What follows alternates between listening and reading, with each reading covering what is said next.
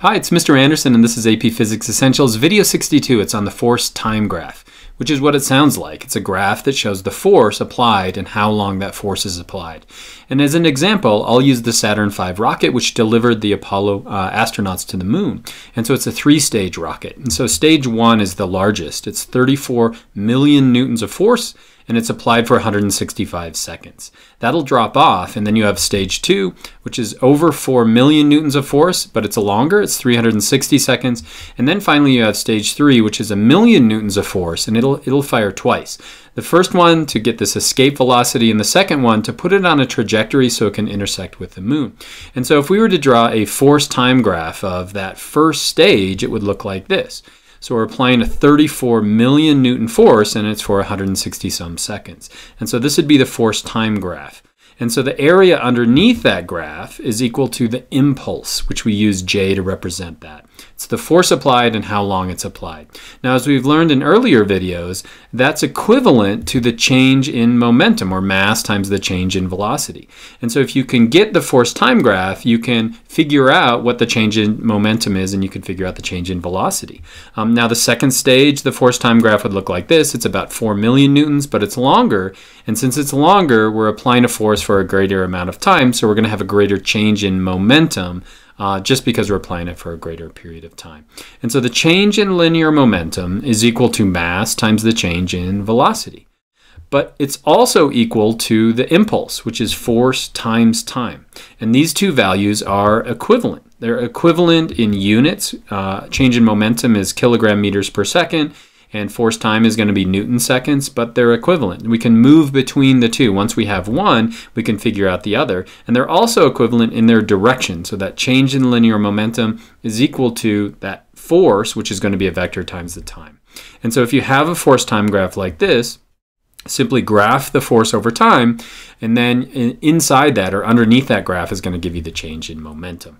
And so again, to go back over what impulse is, if we take force equals mass times acceleration, remember Newton's second law, we can say acceleration is simply the change in velocity over time. If we multiply both sides times time, then we have the two things we're talking about. On the, on the right side, we have change in momentum, and on the left side, we have impulse. And these are equivalent. They're exactly the same.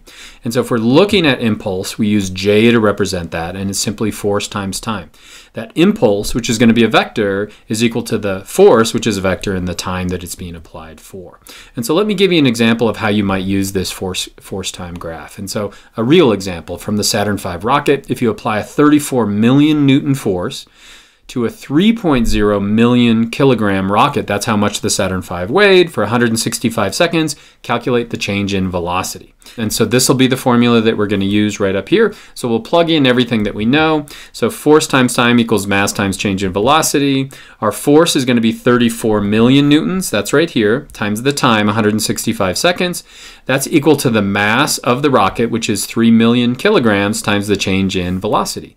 And so now we just have that one value change in velocity. So we can multiply everything on the left side, divide by everything on the right side. And so we get a change in velocity of around 1900 meters per second. So there's going to be a huge change in velocity.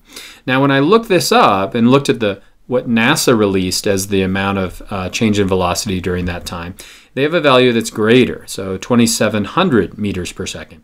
And so where's the difference there? Well, remember, as that rocket is firing, it's using up some of that rocket fuel. What's that doing to the mass? The mass is changing. It's getting lighter and lighter and lighter. So what's happening to our change in velocity? It's getting greater. Now, in AP Physics, they will only ask you questions where the mass is going to remain constant. Another way they could ask you that question is to give you the force time graph and then have you calculate the change in momentum. So let me give you an example of one. Let's say this is the change in force over the change in time and you need to calculate the momentum change. All you're going to do, remember, is calculate the area underneath that curve. That's going to be the impulse. And so we could break it down into geometric shapes. And so the first one I see is going to be this rectangle right here. It's a 30 Newton force on this side times 30 seconds. And so that's going to be 900 Newton seconds. It's just base times height. Um, I also see a triangle on the left and on the right side. So again, geometrically, that's 1 half times base times height. And so that's 30 newtons times 20 seconds. And again, we have to take that in half. And so that's going to be 300 newton seconds, and then the other side is going to be 300 newton seconds as well. And so we can just break that up into its different shapes, then we add them up. So we're going to have an impulse of 1500 newton seconds. Now, another question they could ask you is similar to the question we just had about the rocket. So now we have a change in momentum of 1500 kilogram meters per second. Could you calculate the change in velocity if I give you the mass of the rocket to be a half a kilogram? Well, try that, and I'll put the answer in the video description down below. And so did you learn to apply mathematical routines to calculate impulse, which again is force times time, and, and do you know that that's equivalent to the change in momentum? And finally, could you perform data analysis on a graph of the force-time graph to figure out not only the impulse, but the change in momentum? I hope so, and I hope that was helpful.